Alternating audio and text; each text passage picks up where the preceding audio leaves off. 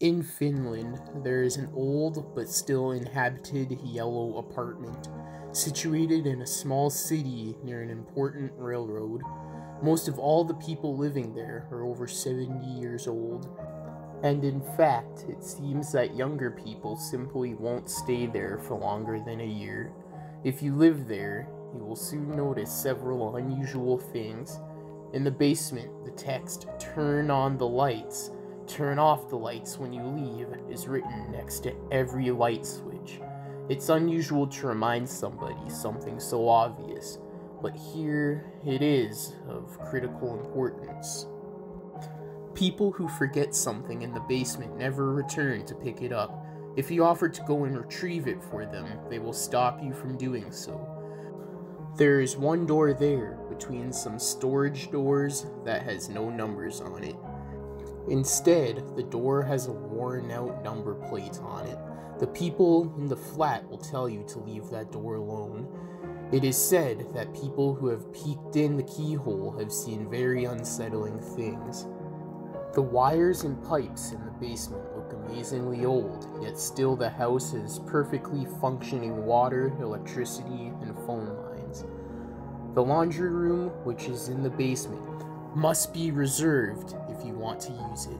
If you go there without reserving a time, first, you will at first get weird looks and some scolding. Then people will more ominously and angrily warn you. These things may seem minor, but those, usually the young ones, who have got too curious or failed to follow the rules have ended up either dead, crippled, or insane. Usually, people say that these incidents were the result of drug use or alcoholism, but some of the freak accidents cannot be explained by anything. How do I know this? I used to go and help my grandmother, who lived in that apartment, and I've seen several times an ambulance has dragged away young people who have missed an arm, sometimes some other parts also. The worst case was when I found a corpse that looked like an explosion victim in the laundry room. His guts were spattered all around the room, and his left arm was sitting on top of the washing machine. Before her death, my grandmother told that she knew what was behind these incidents.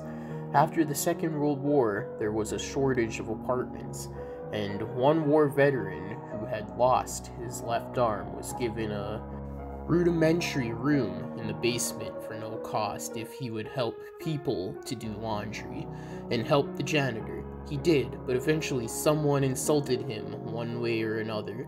The veteran killed that youngster and himself. Ever since his spirit has been there, harshly punishing those who fail to follow the rules of his home. After telling this, she told me that I should never, ever return to the apartment, as I knew too much. As I left the apartment for the last time, I could see the figure of an old, old man missing his left arm staring at me, reflected on the large glass panel of the door to the stairway. Hey guys, thank you for listening to today's creepy pasta, and I hope you enjoyed. I do have a podcast called The Murder House Radio Show. Check it out. The link will be in the description below. It is a true crime podcast. But if you did like, like, comment, subscribe, and share for more, hit the bell notification when you subscribe and select all to get all notifications whenever I upload.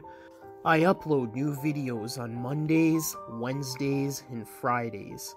Now, all the long episodes and full series of creepypastas are on all major podcasting platforms under the name deadly underscore zone underscore narrations. There will also be a link for it in the description.